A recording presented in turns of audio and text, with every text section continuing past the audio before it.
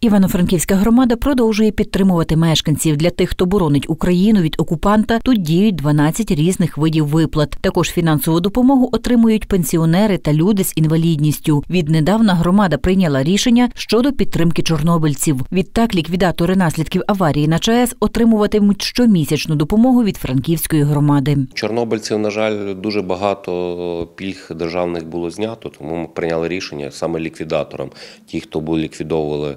Е, аварію на Чорнобильській АЕС, все-таки дати їм щомісячну невелику доплату. Тому сьогодні люди мають можливість звернутися в ЦНАП і оформити собі таку доплату, ті, хто були ліквідаторами Чорнобильської катастрофи, найбільшої техногенної катастрофи світу. Щомісячні виплати можуть отримувати чорнобильці, розмір пенсії, яких не перевищує 11 тисяч 805 гривень. Оформити допомогу можна у будь-якому відділенні ЦНАПу за наявності підтверджуючих документів. Щоб отримати таку допомогу, особа звертається особисто або її законний представник е, з із заявою, надає копію паспорта ідентифікаційного коду, витяг про реєстрацію місця проживання. Так само на таку виплату можуть звертатися і особи, які мають статус внутрішньопереміщеної особи, але зареєстровані в межах Івано-Франківської територіальної громади. Крім того, вони надають своє е, посвідчення учасника ліквідації наслідків на Чорнобильській АЕС відповідно першої, другої чи третьої категорії.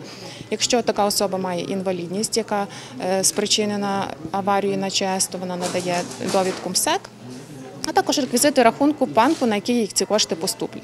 Від 100 до 350 тисяч гривень може отримати будинок, збудований до 1995 року, мешканці якого створять своє ОСББ. 1 липня набуло чинності рішення сесії міської ради про виділення коштів новоствореним об'єднанням співвласників багатоквартирного будинку.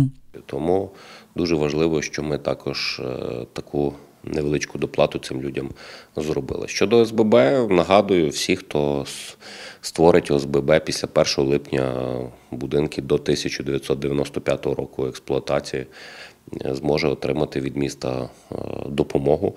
Зокрема, ті будинки, які до 20 квартир 100 тисяч. Е, до речі, це можуть бути невеликі будинки, в тому числі пам'ятки архітектури.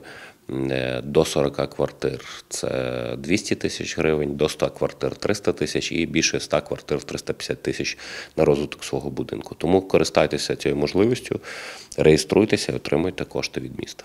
Суттєвою перевагою ОСББ є можливість отримання коштів з різних джерел, каже директор департаменту інфраструктури, житлової та комунальної політики Михайло Смушак. Лише офіційно зареєстровані об'єднання співвласників багатоквартирних будинків можуть брати участь у грантових програмах, щоб покращувати свій будинок, робити капітальний ремонт, замінювати мережі чи проводити роботи з енергоефективності. Це такий хороший стимул е, для мешканців будинків.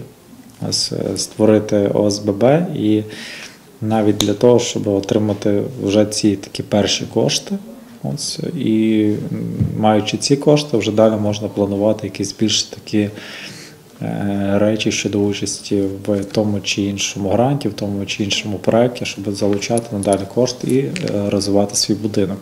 А ще створивши ОСББ, додає смушак, мешканці чітко знають за що і яку суму платять, регулюють кількість послуг та можуть самостійно регулювати суми, які сплачують за утримання будинку. Відтак, щоб отримати стартову суму від громади від 100 до 350 тисяч гривень за створення ОСББ, необхідно зібрати ряд документів та звернутися до СНАПу.